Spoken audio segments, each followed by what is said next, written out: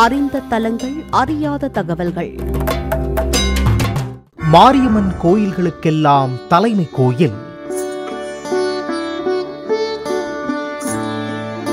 அன்பும் அருளும் துலங்கும் முகத்தோடு காட்சி தரும் அம்பாள்.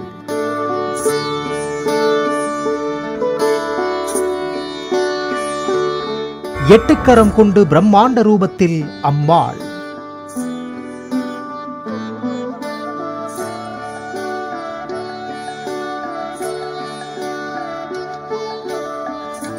பக்தர்களுக்காக விரதம் இருக்கும் தாயம்மன். அலகு குத்தும் நேர்த்திக்கடன் வந்த கதையை அறிவீர்களா? தங்கைக்கு சீர்கொடுக்கும் அண்ணன் பெருமாள். அம்மன் கோயில் வடிவழகி சிந்தா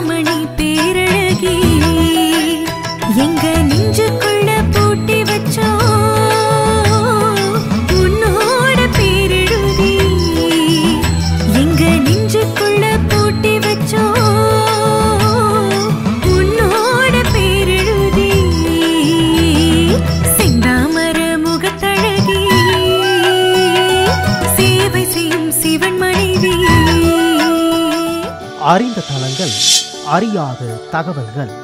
மஞ்சள் உடையும் மனசெல்லாம் பக்தியுமாக எல்லா திசைகளிலுமிருந்து கூட்டம் கூட்டமாக மக்கள் வந்து நேர்த்திக்கடன் செலுத்தும் அம்மன் ஸ்தலமே சமயபுரம். தமிழ்நாட்டு மாரியம்மன் கோயில்களில் தலைமை கோயிலாக சமயபுரம் மாரியம்மன் கோயில் அமைந்திருப்பதாக சொல்லப்படுகிறது. இங்கே திருவிழா தொடங்கிய பின்னால்தான் மற்ற மாரியம்மன் கோயில்களில் திருவிழா தொடங்குவது ஐதீகமாம்.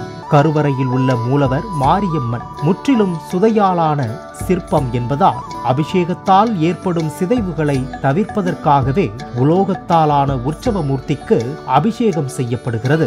மஞ்ச குளிக்கிற மாரியம்மா நின்னு ஜொலிக்கிற சூரியனா மண் வாசனையோடு அம்மா மாலை சூடி வாரா அவள் பேரை தூக்க வாடா மஞ்சள் குளிக்கிற மாரியம்மா நின்று ஜொலிக்கிற சூரியனா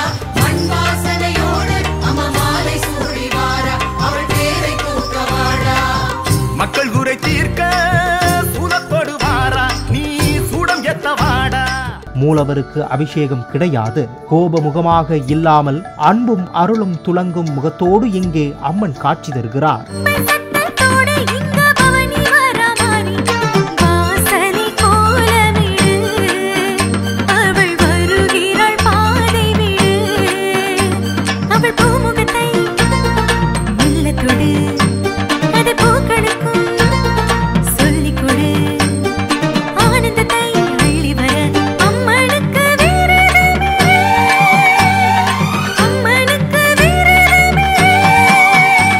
ஐந்து தலை பாம்பு குடை விரிக்க தலையில் தங்க கிரீடம் அணிந்து மாதுளம்பூ நிறத்தவளாய் எட்டு கரத்திலும் கத்தி உடுக்கை தாமரைப்பூ திரிசூலம் கபால வடிவம் பாசம் காண்டீபம் மணி ஏந்தி இடதுகால் பீடத்தில் மடித்திருக்க வலது காலில் மூன்று அசுரர்களின் தலையை மிதித்த வண்ணம் கிழக்கு திசை நோக்கி அம்மன் அமர்ந்திருக்கிறார்.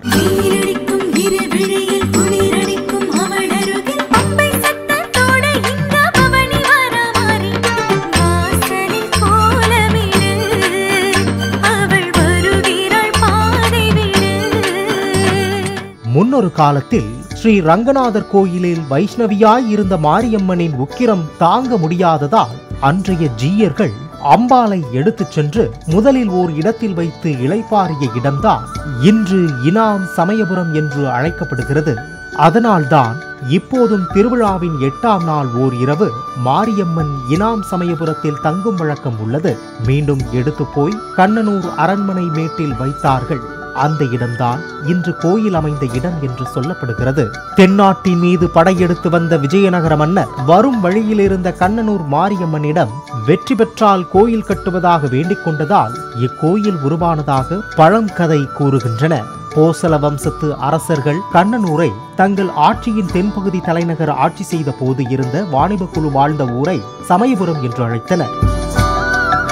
இப்போதுள்ள மாரியம்மன் கோயில் பதினெட்டாம் நூற்றாண்டில் ராணி மங்கம்மாவின் பேரன் விஜயரங்க சொக்கநாதனால் கட்டப்பட்டதாக வரலாற்றாளர்கள் கூறுகின்றனர். தமிழ் இலக்கியங்களில் கூறப்படும் காடமர் செல்வி முதலியவை பழங்குடி மக்கள் தொழுத ஒரு தெய்வமாகும். இந்த தாய் தெய்வத்தை பழந்தமிழர் கொற்றவை என வழிபட்டார்கள். வட மாநிலங்களில் அம்மை நோய்க்கு அதிபதியாக சீதலா தேவியை வணங்குவார்கள். சீதளம் என்றால் குளிர்ச்சி என்று பொருள். இங்கு நாம் குளிர்மாயி மாரி மகமாயி என நோய் தீர்க்கும் கடவுளாக காவல் தெய்வமாக மழை தரும் தெய்வமாக மாரியம்மன் வழிபாடு பரவலானது.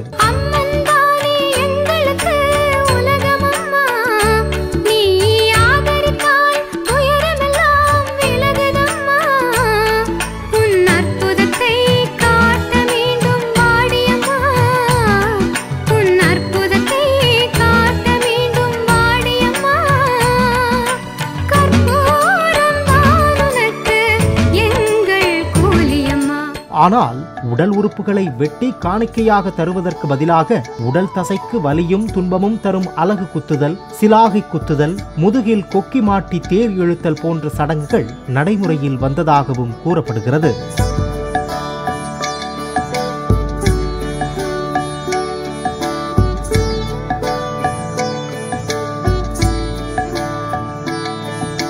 பொதுவாக பக்தர்கள் பட்டினி கிடந்து விரதம் இருப்பதுதான் வழக்கம். சமயபுரத்தில் தாய் மாரியம்மா தன் குழந்தைகளுக்காக மாசி மாதம் கடைசி ஞாயிறு தொடங்கி பங்குனி கடைசி ஞாயிறு வரை இருபத்தி எட்டு நாள்கள் பச்சை பட்டினி விரதம் இருக்கும் வழக்கம் உள்ளது. சமயபுரம் மாரியம்மன் பச்சை பட்டினி விரதம் தொடங்கும் நாளான மாசி மாதத்தின் கடைசி ஞாயிறுதான் பூச்சொரிதல் விழா நடைபெறும். இந்த விழா திருச்சி மாவட்ட மக்களால் கோலாகலமாக கொண்டாடப்படும். மகிஷாசூரனை வதைத்த ஆத்தாளின் கோபம் தணியவே இந்த பூச்சொரிதல் என்கிறது கோயில் வரலாறு.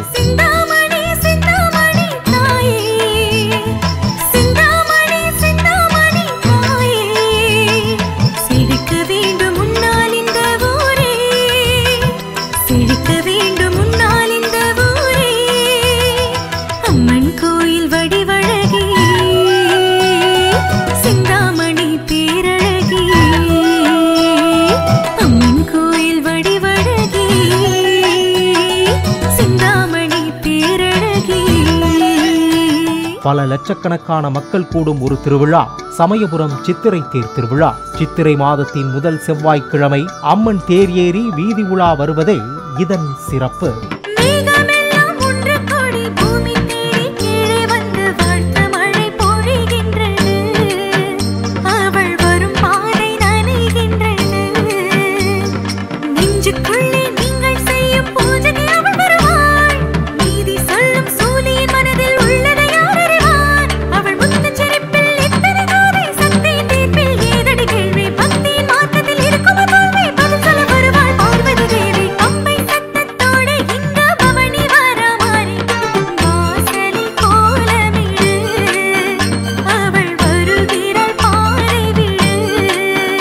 தை மாதம் நடக்கும் பூச திருவிழாவும் சிறப்பானது. பத்து நாட்கள் நடக்கும் இவ்விழாவில் ஸ்ரீரங்கநாதரிடமிருந்து சமயபுரம் மாரியம்மனுக்கு அலங்காரச்சீர் யானை மீது வரும். வாத்தியங்கள் முழங்க அதனை அம்மனுக்கு சமர்ப்பிப்பார்கள். அதாவது அண்ணன் ரங்கநாதன் தங்கை மாரியம்மனுக்கு சீர்கொண்டு வந்ததாக பொருள்.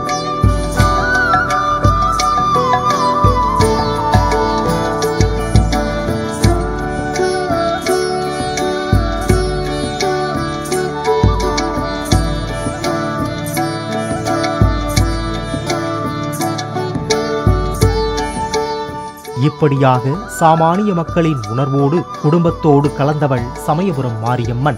நேயர்களே அறிந்த தலங்கள் அறியாத தகவல்கள் பகுதியில் சமயபுரம் மாரியம்மன் கோயில் அம்மனின் சிறப்புகள் திருவுருவம் திருக்கோயில் திருவிழா என பல்வேறு விஷயங்களை தெரிந்து கொண்டோம். மாரியம்மனை நாமும் மனதார வணங்கி மனமகிழ்ச்சி காண்போம்.